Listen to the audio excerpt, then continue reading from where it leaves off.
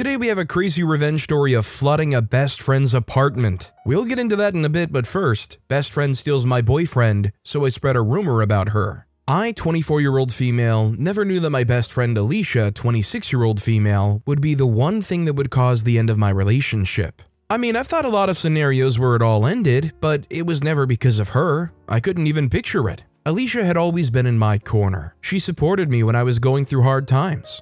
The fact that she morphed from being the most supportive person I've ever had in my corner to a boyfriend stealing witch is beyond me. But I guess I should have known that in the end, when it came down to me and her, she'd always choose herself. The day our friendship took a turn was a Friday. We were done with work and I was planning to go home to continue the series I was watching, but some of our coworkers announced that they were going to a bar downtown to celebrate another coworker's engagement. I wasn't very close to my coworkers, but Alicia was. We worked in the same department, and while I was the quiet and antisocial one, she was the outgoing friend. So she made sure to convince me to follow them to the bar. I didn't even know why she wanted me there because I didn't drink, but I agreed to go anyway. We got to the bar and everyone ordered a round of beer. Everyone except me. I took a glass of club soda instead, they all talked and laughed amongst themselves, but I just sat there. I was feeling really awkward among them. I don't know who made the rule that coworkers have to be friends because I don't buy it. We were just random strangers who happened to work in the same company. I'd worked in the company longer than Alicia, but she still had more friends than I did, and honestly, I was fine with that. After an hour of being in the bar, my social battery died, and all I wanted was to go back home or at least hide out somewhere there weren't a lot of people. I excused myself from my coworkers and went to the bathroom. I didn't come out for almost 30 minutes. There, I devised a plan with one of my neighbors to call me in exactly 10 minutes and say there was an emergency at home. I know it was a bit drastic, but I couldn't think of any other reason that they'd accept as to why I wanted to go home. So, with my plan formulated, I walked out of the bathroom, only to bump into a guy standing by the jukebox. I looked up to apologize and I literally froze. He was handsome, dark eyes, smooth face, nice jawline, the works. His smile was also very disarming. There was some kind of innocence to them that made me feel safe in his presence. He apologized for not looking where he was going and introduced himself as Jake, 31 year old male, and I told him my name. He offered to buy me a drink, so we walked over to the bar and I got another club soda. We talked for a moment, and when my neighbor called me as scheduled, I hung up and texted her to call me in another 30 minutes. I spent the time with Jake, and when the 30 minutes was up, I told him I had to go. He asked for my number, which I promptly gave him before I returned to my friend's table and told him that I had to leave. Jake and I got really close over the phone. We called and texted every day when I got back from work, it was a really fun time. Eventually, he asked me out on a date, and I said yes. We went out the next Saturday, and then the next, and the next, and eventually, he asked me to be his girlfriend on Valentine's Day. And of course, I said yes. Alicia noticed that I was more cheerful at work, and she asked what was going on. I didn't like to talk about relationship stuff at work, but I told her that Jake finally asked me out. Before then, she already knew who Jake was because I've mentioned him a billion times. She was indifferent about the whole thing because she was never one for relationships. She had a long string of men she used only for sex, but she never tried to be in a relationship with any guy. She once described love as a poison that should be avoided at all costs. Anyway, I was talking about how sweet and romantic Jake is, and she decided that she wanted to meet him. I invited her over to my place and introduced her to Jake as my best friend. I could tell that she was really taken with him because she was giving him all these compliments. Alicia has never been the one to hide how she feels. She's very blunt like that, and it's one of the reasons why I love her so much. They got talking, and I was really glad that my boyfriend and best friend were getting along. I had no idea that I'd come to regret that very day so much. By the end of our little hangout, Alicia was the first to leave. After that day, she started to ask me if she could hang out with us more often. It started with little things like coming over to watch a movie with us, or having dinner at my place, to third wheeling in arcades and bars. She didn't mind, and it was a bit weird. Alicia had never been that needy. As extroverted as she was, she loved her independence and always set her boundaries. But after meeting Jake, it just felt like she wanted to hang out with us every time. I should have seen this as a problem, but for some reason, I didn't. At least, not at first. But after a while, when it felt like she was the third partner in our relationship, I had to say something. I carefully told her that we wanted to hang out by ourselves sometimes, and she immediately got the message. She apologized for intruding and took a step back. But that was not the end. A few weeks after I talked to Alicia, I noticed that Jake was becoming more and more glued to his phone. He never liked Instagram or TikTok, but whenever we were together, he was watching it for the whole day, giggling like a child. I'd been trying to put him onto TikTok for some time, but he'd never been interested. It was just a bit surprising that he was watching them, and I wonder what changed. One day, his phone was on the kitchen counter as we had dinner and he was by the sink, clearing up the used dishes. A notification came on his phone and I picked it up and looked at it. To my surprise, it was a WhatsApp message from Alicia. I didn't even know that he had Alicia's number, talk less of the fact that they were texting. I asked him about it immediately, and she said she took his number some time ago because I wasn't comfortable with her coming around anymore. That's what she told him. I explained to him that I just felt like we needed time to ourselves without her being around all the time. I didn't tell her not to hang out with us anymore. He also explained that she collected his number because she wanted to send him links to some TikTok videos she wanted him to see. This was where I started to suspect that something was going on, but I didn't want to make a big deal out of it. We were still cool at work, but she never asked to come over and hang out again, and even when I invited her, there was always an excuse. After some time, I noticed that Jake started to grow distant. Even when he was in my place, he rarely spoke to me. He was always on his phone or fixated on the TV. Whenever I tried to talk about this, He'd always bring up some lame excuse like he was tired or stressed from work and needed some rest, or that I shouldn't compare the beginning stages of the relationship to the later stages because things were going to calm down eventually. But that wasn't even the worst part. Eventually, he just stopped coming over to my place to see me. Whenever I asked why, he'd say he was busy with work. Even when I offered to come over, he'd refuse and say things like he was tired and had to get some sleep.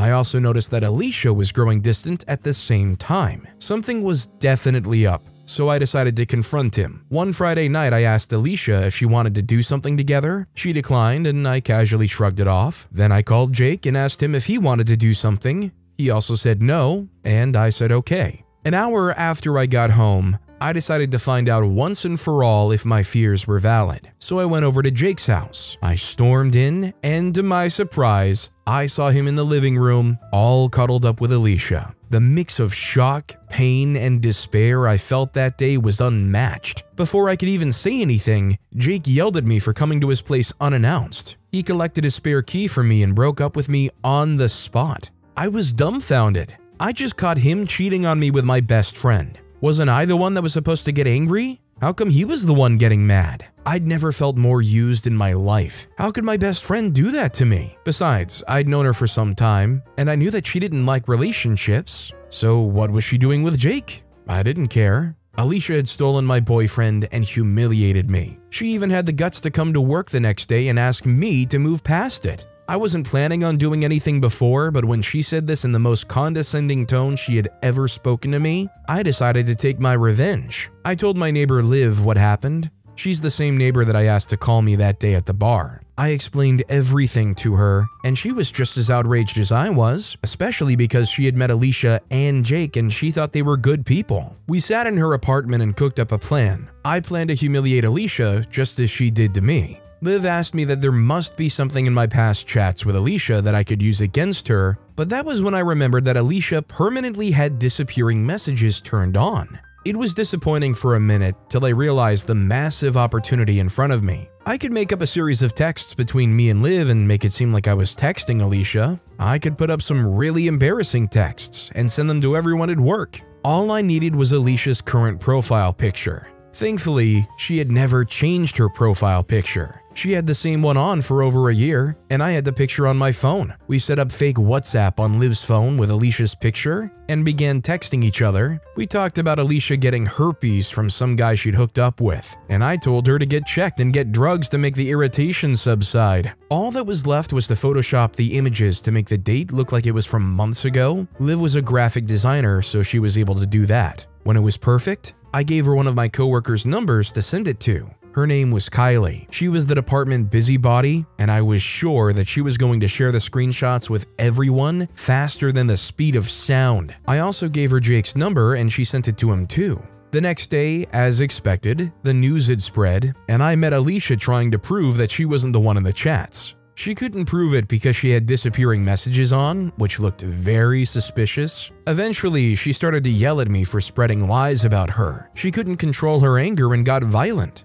I didn't fight back and they had to pull her off me, which was what I wanted. She was suspended from work for her misconduct but she didn't return because of the humiliation of people thinking she had herpes. I never saw Jake again, but I'm sure he would have broken up with her eventually. It'll be difficult for him to stay with a girl when he thinks she has herpes, and with that, my revenge plan was complete. Honestly, if this is all OP had to do to kind of tear down her world and the relationship she had with the boyfriend she stole from OP, the whole thing sounded pretty flimsy to begin with, let's be real. Also, hi, I'm Steven, and if you guys enjoy crazy stories of revenge, it would be awesome if you left a like or left a review if you're listening to my podcast. That said, our next story is Jerk Boss steals my code, so I destroy his app. I, 24 year old male, had been learning programming since my very first day in high school. I loved everything about it. I didn't know how to communicate with people or be anything less than awkward in a social setting, and because of this, I kept to myself a lot. It was just me and every programming language I could use. I programmed for over five hours daily, and by the time I was done with high school,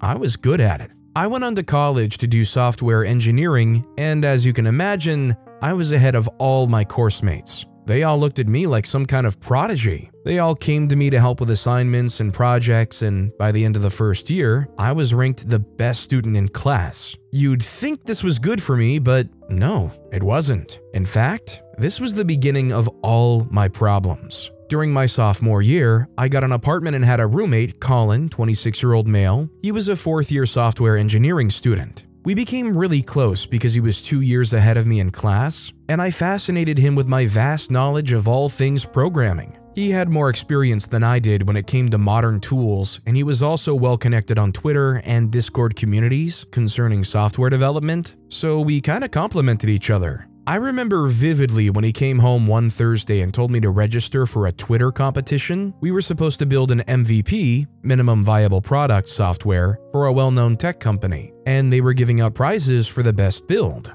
I didn't want to do it at first because it was a lot of work, but it sounded exciting, so why not? It took me a little over three months to build the MVP, and when I submitted it days before the deadline, I won first place and received a huge cash prize. It felt good, but that was supposed to be the end of it. Two weeks later, some guy called me and said that he was from the company I developed the app for. The higher ups were fascinated by my design, and they wanted me to come in for a meeting. I went there on a Monday, and after spending the first hour talking about my design, the boss came in Let's call him Adam. He complimented my design and offered me an internship. I was going to work directly under him, and he was offering to give me front row seats to how a tech company really worked. It was a really good offer because I was looking to start my own company someday, and so I said yes. I started my internship with Adam during the second semester of my sophomore year, and I was the envy of my classmates. We were supposed to get internships in our fourth year. And there I was in my second year. I hadn't only secured an internship in my second year with one of the biggest tech companies at the time, but I also had a direct line to the CEO, Adam. It was a really nice ego boost for me because sometimes Adam would pop up in my school unannounced and pick me out from my friends saying they needed me in the company. As if my prodigy status wasn't enough, I ascended to the level of demigod by this time, at least in my head. Working with Adam was fun in the beginning. He was almost as much of a nerd as I was, and we could talk for hours on end about whatever build we were working on. Our relationship even transcended from boss and employee to friends, or at least so I thought. Adam would have me working at odd hours, which was out of the stipulated time of my internship contract, but at the time I didn't mind. I loved the work I was doing. The only one who noticed that I was being used was Colin. One day, he woke me up by 3 a.m. to use the toilet, and he found me awake in the living room working on something. He asked me what I was doing, and I explained that Adam thought of some new idea that he wanted me to work on. That was the day Colin sat me down to tell me that I was being used. An internship was supposed to be an avenue for me to gain experience, not take on the job of three developers at once. I tried to laugh it off and told him that it was cool and that I was enjoying what I did for the company, but he wasn't having it. I wasn't getting paid for my work, so there was no need for me to stay up all night to write code, knowing fully well that I had to attend class in the morning. He told me to talk to Adam and set boundaries, and I agreed. The next day, I called Adam and told him I'd like to stick to the agreed working hours in my contract. And he said he understood. He went on further to say that the only reason he called me after hours to work with me was because he felt closer to me than his other employees. I was stupid enough to fall for this trick, and I listened to him go on and on about how difficult it was to get good employees, and that he was so happy that I was working for him. I wasn't familiar with manipulation tactics, and so I didn't know what was going on. All I knew was that I told him to call me anytime he needed me to work because I also considered him a friend too. The next time Colin saw me working late, I think this time it was around 6 a.m., and he was just coming back from some party. He met me at my computer, and even though he was tired, he still sat down to talk to me about the insane hours I was putting into an unpaid internship. I told him that I talked to Adam and I gave him his feedback. I even defended Adam, saying that we're friends and I loved working overtime with him. I had stayed up all night that morning, so when Colin tried to argue further, I got a bit cranky, and I may have said a few words which I totally regret now. After that day, Colin backed off, and I handled the Adam situation myself. During my third year first semester, my internship came to an end. I was ready to leave, but Adam wasn't looking to let me go. He said I needed more experience and extended my internship. I tried to object because I was hoping to have more time to myself to start developing an idea I'd been thinking about, but he wasn't having it. He even added a little monetary compensation and told me that he was hoping to employ me as soon as I finished college. It was a nice offer, but I wasn't even looking to work under a company when I was done with school. But no matter how much I argued and explained my point of view, Adam wouldn't just let me go. It was like one of those arguments where it looks like you're discussing, but deep down, you know you have no choice. I didn't want to turn it into a big deal, so I decided to stick around. Besides, if I wanted to work on my own startup, I could get Adam's guidance since he already owns a successful company. There shouldn't be any problems with that, right? Wrong. It took me almost six months to perfect the MVP of my first app. I can't talk a lot about the app because it's still not ready, but all I can say is that it has a unique way of running an e-hailing business. When I was building the MVP, I showed it to Adam and told him my plans for it. He was happy about my progress, or at least that's how it seemed, but as he looked through, he pointed out multiple errors. I really didn't think they were errors, but he insisted that there were better ways to build these components. When I asked him how, he told me not to worry and that he was going to help me work on it himself. I was so happy that one of the best minds I know found my work interesting enough to want to work on it.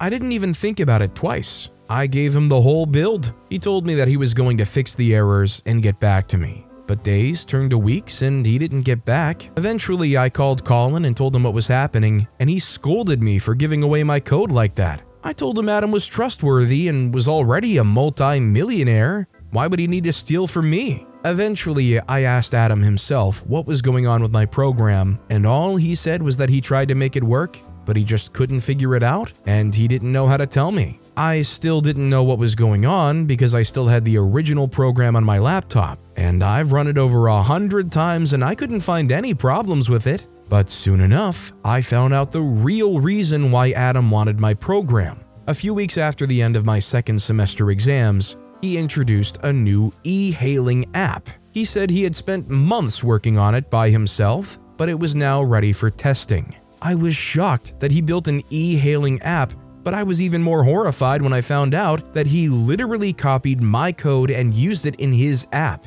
I had access to the back end since I still worked in the company, and I was able to verify that it was my code. I confronted him about it, and he got furious at me for calling him out. Before I knew what was going on, he fired me from the company and promised to give me a poor review if any company interested in hiring me called him. I was shocked. I'd worked with him for a year by then, and that was how he was planning to pay me by stealing my work and making my life miserable. I finally called Colin again and told him that he was right. I was a wreck. I'd been thinking about launching that app since I got to college. I was just waiting for the right time. If Adam launched before me, I'd have lost everything because everyone would think I copied his code instead of the reverse. I won't be able to get funding. But Colin wasn't giving up. As long as Adam hadn't launched, we had a chance. He invited me over to his place so we could find a solution to the problem. He had graduated already, so we no longer lived together. I got there and talked to him and a few friends of his. After a moment, one of his friends gave me an idea of sending him a virus. We were going to build one that would erase all the files in his office computer. I didn't even need to go to him because the computers in the office are all connected to one network. If one is infected, the others will be too. With this, we could wipe off my code from his computer and all the one for his app. But there was still one problem. Adam had a personal laptop, and it's sure to contain a backup of my code and his app. But Colin had a solution for that too. All we had to do was send him an email with the virus on it. Once he opens it, the virus will do its job on the laptop. But we had to do it at the same time so he wouldn't know what hit him. We spent the entire day and night working on the virus, and once it was finally finished, we put it on a flash drive. I went to the company the next day under the guise of going to pack my things. I was able to distract one of my ex coworkers and plug the flash drive into his computer. At that same time, I sent the email to Adam. I made sure to block my IP address and make sure there was nothing in the email that pointed to me so he wouldn't have any reason to track me down. My plan worked like a charm, and I watched all the employees run helter skelter as their computers malfunctioned and erased themselves. Adam's computer was also erased after he opened the email, and just like that, his app disappeared forever. He had been blowing my phone up since then and sending me crazy texts, but it could never turn into a police issue because he could never prove that I erased his app. And just like that, my code was mine once again. Well, and also the fact OP didn't mention, but if they made this a legal issue, at that point the gloves are off, OP's going to have to get some kind of legal representation, and at that point they can present that they've written this code. Hopefully they have some kind of evidence that shows this is something they've been working on and writing well before Adam ever got his hands on it. And I imagine Adam doesn't want to make this a legal issue because he stands not only to get in trouble, but also could you imagine a CEO of a high-tech company getting outed as an in intern code stealing monster? Honestly, the headline probably wouldn't be that surprising to see. Our next story is I flooded my ex bestie's apartment with water. I flooded my ex bestie's apartment with water. You will never guess why. Me and my best friend Andrea, not real name, had been friends for ages before we fell apart. Do you know how they say introverts are often adopted by their extrovert friends? That was what happened with my best friend. I was an introverted girl in high school, and she was a stylish diva who hated all the popular kids and was just that popular girl who didn't have nor need a clique. I was waiting around for my mom to come pick me up one afternoon when she walked past me she walked back and asked for my name and if I was okay. For a while, she'd randomly stop me to talk in the school hallway and sit quietly with me at the cafeteria. We soon started talking to each other, and after some months, we became very close friends. My friend tried really hard to get me to become as outgoing as she was, but I wasn't interested in that life at the time. I didn't like wearing makeup, matching my purse to my sneakers or shoes, or wearing matching underwear. Even in college, I was always barefaced and my dress sense was just too bad. My social life wasn't great either. I didn't have friends or an active social life. It was just my best friend and anyone I met through her. All my friends were her friends. I didn't have separate friends of my own. My friend was the bubbly girl in high school and college. People liked and envied her fashion sense. She always looked good and knew just how to put outfits together, wore really good makeup that she always did well, and was good at organizing parties and just bringing people together. I was just trying to figure my life out. I hated what I was studying in college and it was too late to go back. I didn't want to put any kind of financial strain on my parents. I just wanted to be done with college and then find my passion. In my third year, my best friend and I moved in together to a small apartment just outside the university campus. It was the summer before that session that I started to think really long and hard about my life and what I wanted it to look like. I didn't like how I looked and wanted that to change. I started to look online for help. I checked fashion blogs to find out what kind of style I liked. I consumed a lot of fashion content and soon became good at dressing up. I got an idea of what would look good on me, ditched my eyeglasses for contact lenses, and started to wear makeup, albeit light ones. I looked good and I enjoyed how I looked. As I did all this, I noticed that I was starting to get attention from men. Even guys who previously hadn't noticed me started paying attention to me. Even girls started to pay attention to me too, especially the girls who visit my best friend and roommate often. In the past, they didn't really speak to me at all, but when I started to pay more attention to how I looked, they all started to say hello, linger around me more, and try to include me in their conversations. I noticed on different occasions that my best friend was uncomfortable with what was going on in my life, but I ignored the signs. I read a lot growing up, especially on psychology, so I understood that a little jealousy was okay. I justified it even. I thought that she was used to being the center of attention whenever we were together. It would take a while to get used to me being her beautiful, well put together friend. I then started to notice tiny acts of microaggression, like her making subtly nasty comments about my dress, shoes, and the color of my hair. I dyed my hair blonde, and trying to downplay whatever compliments someone else showered on me. If, for instance, someone compliments how the lipstick I was wearing was perfect for the shade of my skin, she would say, yeah, well, but take a look at her shoes. Sometimes she overdid it so much that her friends would stare at her weirdly or even call her out on it. After getting pushback from her friends about her behavior, she stopped, but she still kept up with those nasty comments whenever we were alone together. I decided that I didn't just want to look good,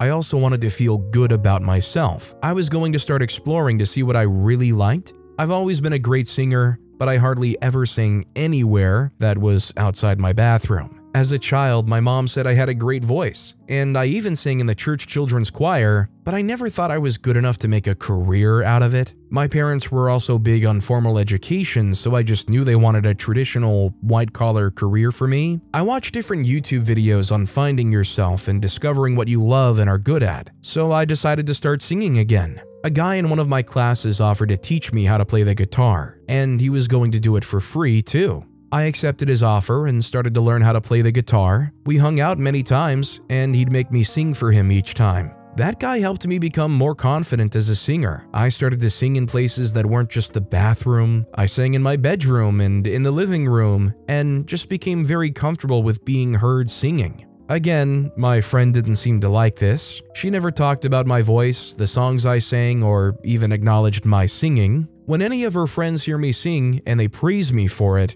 she would not make any comment at all. I'd been ignoring her, but on one particular occasion, I confronted her. It happened that her friends and her boyfriend were visiting that day, and we all started to discuss the album of a famous artist that had just been released. We talked about our favorite song on the album, and everyone agreed that they liked one of the songs best. Everyone except me argued that they only didn't like one of the songs because they didn't really listen to the lyrics. I then sang the songs there. It wasn't planned. I mean, it wasn't like I set out to dazzle them with my voice, but I wanted them to understand that the song wasn't bad at all. They applauded me and started to compliment my voice. Despite their wows and didn't even know you could do that, my best friend said nothing. She just kept a straight face. That night, I asked her why she did that, and then I told her that I'd noticed her behavior since I started to take myself seriously. She asked if I was saying that she was jealous, and I said yes. I did think she was jealous of all the attention I was getting.